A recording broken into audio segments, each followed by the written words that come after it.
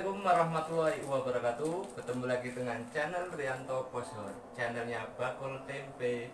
Oke, dalam kesempatan video kali ini Kita akan melihat cara membungkus tempe padat Surabaya. Simak videonya Tapi sebelumnya jangan lupa Like and subscribe. Tak anda nih ya like Subscribe Terima kasih. Assalamualaikum warahmatullahi wabarakatuh.